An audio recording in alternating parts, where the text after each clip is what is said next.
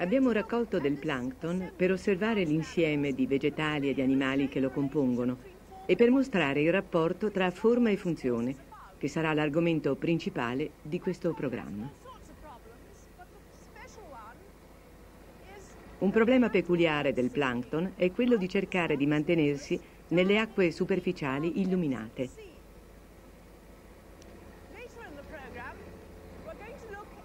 Più avanti nel programma analizzeremo l'interdipendenza della forma e della funzione nel sistema muscolare di molti animali, tra i quali le meduse, gli anemoni di mare, alcuni molluschi e gli echinodermi.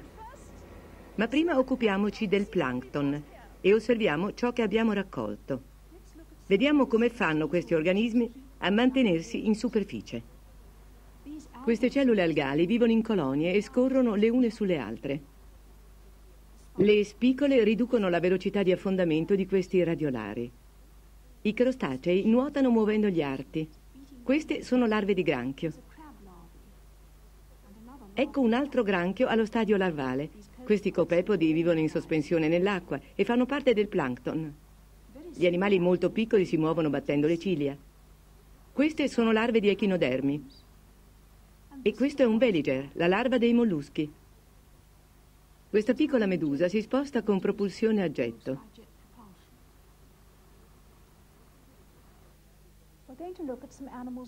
Osserveremo alcuni animali con idroscheletro e le relazioni tra forma e funzione in rapporto al movimento. La struttura più semplice si ha nei polipi. La cavità gastrovascolare è l'idroscheletro. Nell'endoderma si trovano delle fibre muscolari circolari, mentre nell'ectoderma delle fibre longitudinali per cui il polipo può piegarsi, allungarsi o contrarsi. L'anemone di mare è un animale più complesso, però organizzato sullo stesso schema.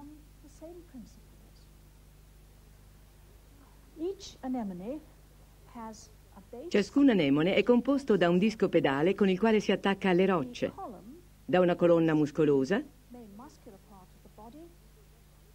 e da un disco orale, intorno al quale vi sono i tentacoli. Al centro la bocca a forma di lunga fessura. Se un anemone viene toccato ripetutamente, si contrae. Quando si contrae l'acqua viene emessa dalla bocca e di conseguenza l'animale può rimpicciolirsi. Se non viene più disturbato, ritorna alle dimensioni normali. Come ben sapete, i muscoli possono contrarsi, ma non possono allungarsi. Ma allora come fa l'anemone ad aumentare di volume, a diventare più grosso? La spiegazione è che a ciascuna delle estremità della bocca vi sono delle ciglia.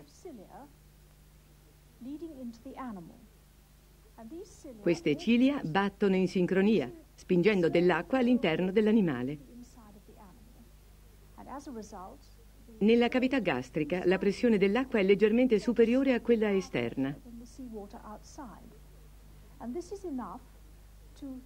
Questo è sufficiente per distendere i muscoli rilassati e per far ingrossare lentamente l'animale. Un'altra caratteristica dell'anemone è che nella colonna i muscoli si trovano tutti nell'endoderma, dunque non esistono muscoli ectodermici. Ciò significa che in origine questi muscoli sono solo circolari, dunque l'animale dovrebbe essere in grado di allungarsi riducendo il diametro.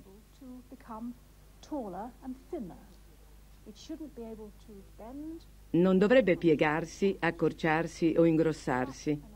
Eppure gli anemoni possono piegarsi e cambiare forma. Ciò è possibile perché durante lo sviluppo i muscoli circolari possono disporsi in diverse posizioni.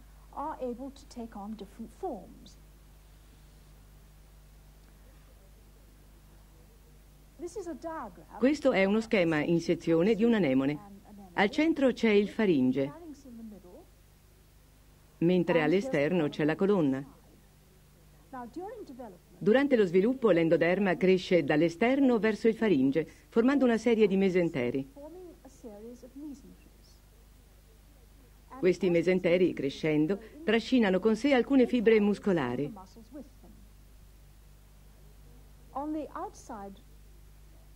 All'esterno del canale alimentare si trovano i muscoli circolari. Qui sono ancora visibili. Man mano che i mesenteri crescono, questi muscoli circolari cambiano posizione, diventando muscoli radiali.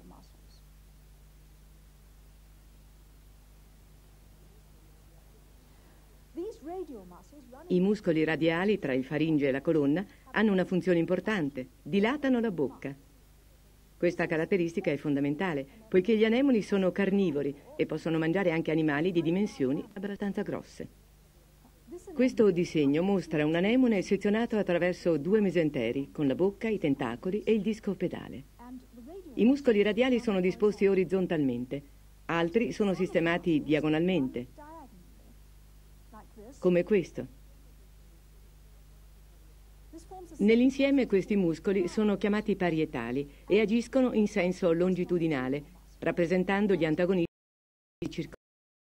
Grazie a questi muscoli che lavorano in direzioni opposte, l'animale è in grado di piegarsi, di allungare e di contrarre la colonna.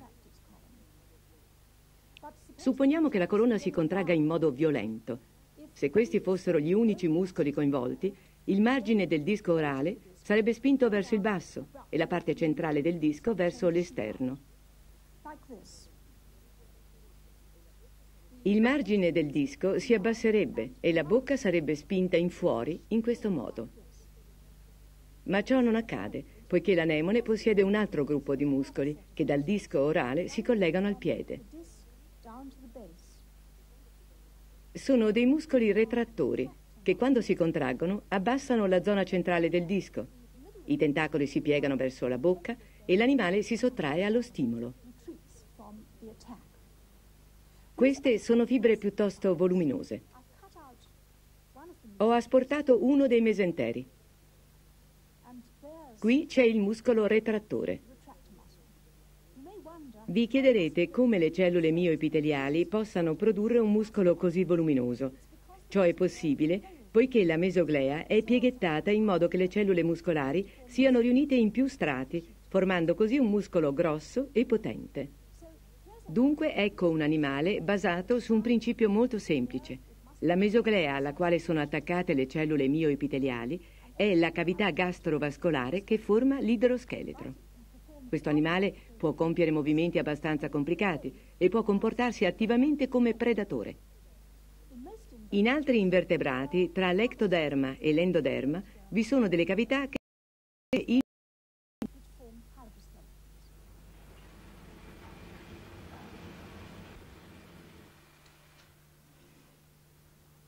Nei molluschi la cavità principale del corpo è l'emocele, che funge da sostegno e anche da mezzo di locomozione. Nella chiocciola terrestre è possibile osservare la funzione di supporto del corpo nel modo in cui i tentacoli vengono tenuti rigidi, ritirati e ancora allungati.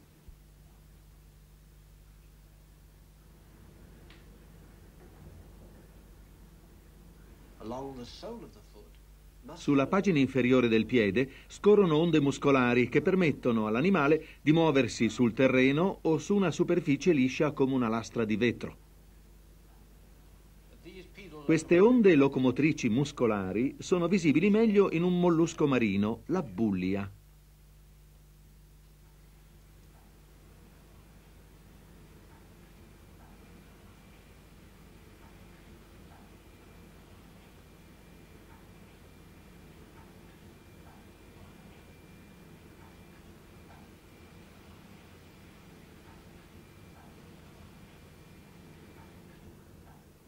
La bullia può muoversi agevolmente sulla sabbia, ma anche scavare nella sabbia stessa.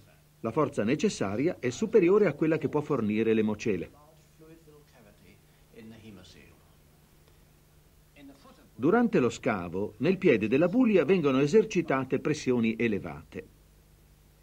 Ciò è visibile meglio nell'ensis, mollusco bivalve, che per affondare il piede nella sabbia esercita grosse pressioni. Il piede fa presa saldamente e tirano il guscio in basso.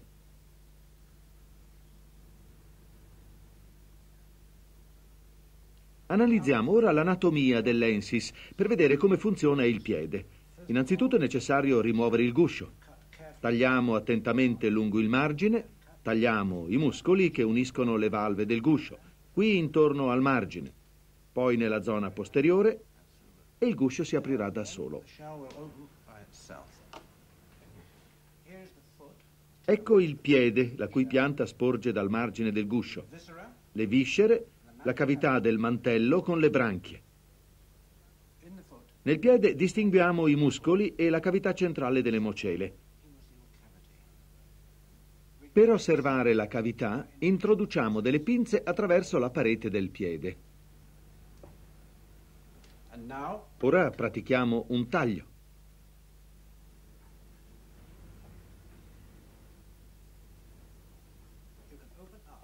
Possiamo così aprire il tutto, esporre la cavità e vedere il lumen del piede che normalmente contiene un liquido. La cavità del mantello, che contiene le branchie in questa regione, si estende su ambedue i lati del piede, verso il margine anteriore delle valve. È da questa cavità che l'acqua viene riversata nella sabbia per facilitare il movimento dell'animale.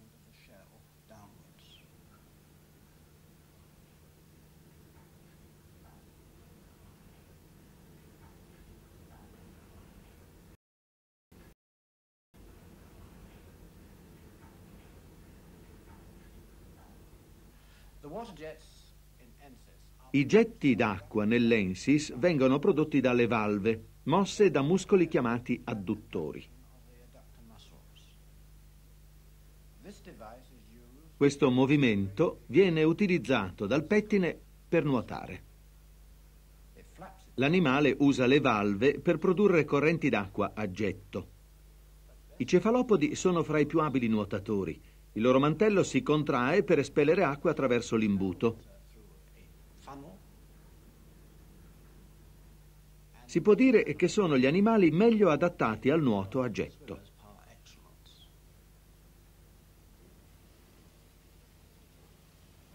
Forse l'esempio più significativo di questo tipo di propulsione è dato dalle seppie.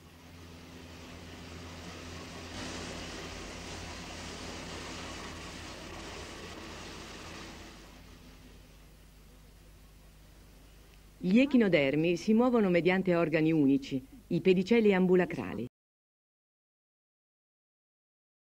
dal celoma, che si chiama apparato acquifero ed è formato da ampolle connesse a canali e a pedicelli ambulacrali. Per capire come funziona il sistema acquifero è necessario effettuare una dissezione.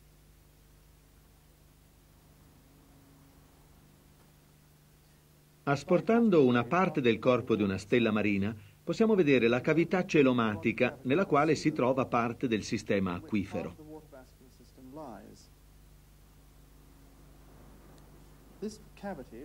Questa cavità contiene anche una parte del sistema digerente e di quello riproduttivo.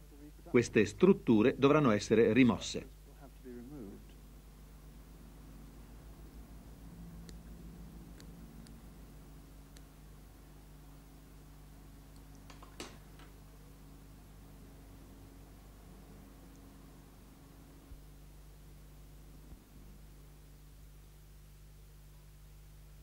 Dopo aver tolto una parte dello stomaco, sarà possibile vedere le ampolle che giacciono sulla parete inferiore, all'interno del corpo.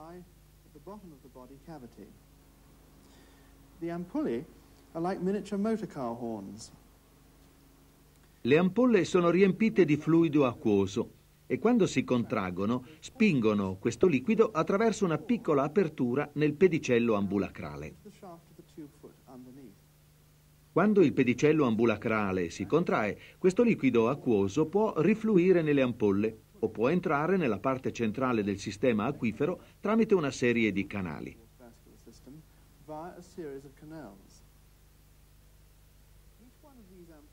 Ciascuna di queste ampolle si unisce ad un canale radiale che si trova al di sotto di questa fila di vescicole.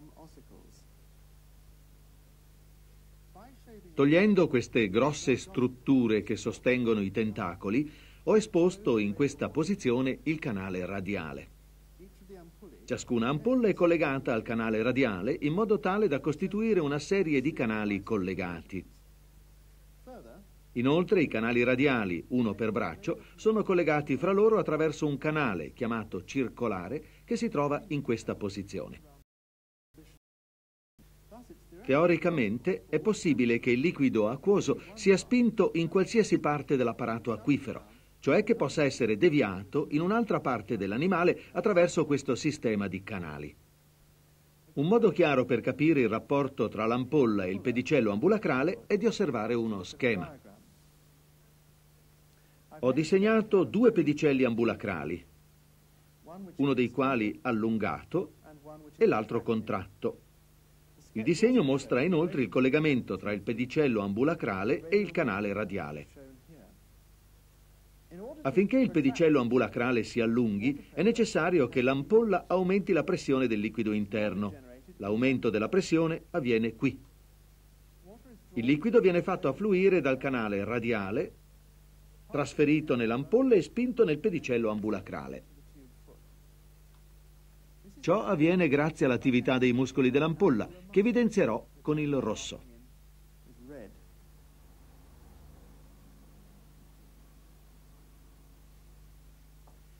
Questi sono i muscoli che normalmente il pedicello ambulacrale.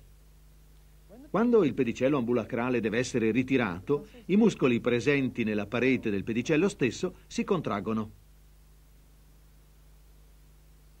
In questo modo il liquido viene spinto dal pedicello ambulacrale all'ampolla.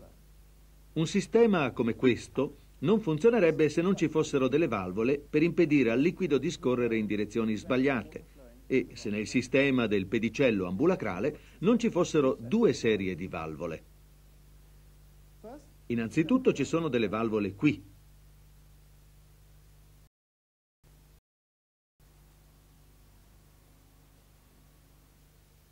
mentre altre sono in questa posizione. La prima valvola agisce da valvola di non ritorno. Si trova tra il canale radiale e il pedicello ambulacrale. La sua funzione è di evitare che il liquido ritorni nel canale radiale quando il pedicello si contrae. Questa valvola può essere però aperta da un sistema di muscoli e permettere al liquido di passare dal canale radiale all'ampolla e successivamente al pedicello. L'altra è una valvola ad anello che ho indicato qui in rosso. Questa valvola può chiudersi e isolare l'ampolla dal pedicello ambulacrale. La pressione creata dalle ampolle è normalmente utilizzata per estendere i pedicelli degli echinodermi, ma esistono altri modi per poterlo fare. Per esempio, mentre un pedicello ambulacrale si sta contraendo, si crea nel liquido una pressione che può essere usata per allungare il pedicello a fianco collegato da un canale trasversale. Un'altra fonte di pressione per il liquido dell'apparato ambulacrale può essere fornita dallo stesso canale radiale. In questo caso, la pressione dell'acqua generata nel canale radiale può essere direttamente applicata al pedicello ambulacrale. Il pedicello ambulacrale può allungarsi e ritirarsi, ma ciò non basta a farlo diventare un organo locomotore. Per fare in modo che i pedicelli vengano utilizzati per spostarsi, è necessario che altri muscoli provochino altri movimenti. Questi muscoli sono detti posturali in questa Contraendo uno di questi muscoli, la stella marina fa eseguire al pedicello un movimento laterale. Per esempio, se questo muscolo posturale si contrae, il pedicello ambulacrale si muoverà in questa direzione. Allo stesso modo, quando questo muscolo si contrae, il pedicello ambulacrale si muoverà in questa direzione. Perciò Attraverso l'interazione dei muscoli posturali, dei muscoli dell'ampolla e del pedicello, il pedicello stesso può allungarsi in una direzione particolare, compiere un passo, ritirarsi e muoversi nuovamente per fare un altro passo. Un altro particolare che permette alla stella marina di usare il pedicello in modo efficace è la ventosa. All'estremità libera del pedicello ambulacrale si trova una ventosa che viene utilizzata per aderire al substrato. Gli echinodermi possiedono un sistema nervoso per coordinare le attività dei pedicelli ambulacrali. Solo grazie al sistema nervoso è possibile unire produttive.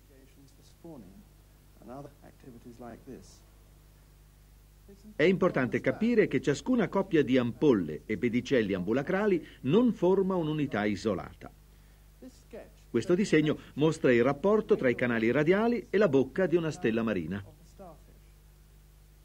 Ciascun canale radiale si collega a questo canale circolare, in modo che il liquido dei canali radiali gli altri canali. È quindi possibile che per pressione il liquido all'interno di un'ampolla venga trasferito attraverso questo sistema di canali in qualsiasi altra ampolla o pedicello del sistema. In questo modo l'animale ha la possibilità di far fluire del liquido da una parte del sistema ad un'altra. Ciò è particolarmente utile per gli echinodermi, che utilizzano l'apparato acquifero, oltre che per la locomozione, anche per altre attività.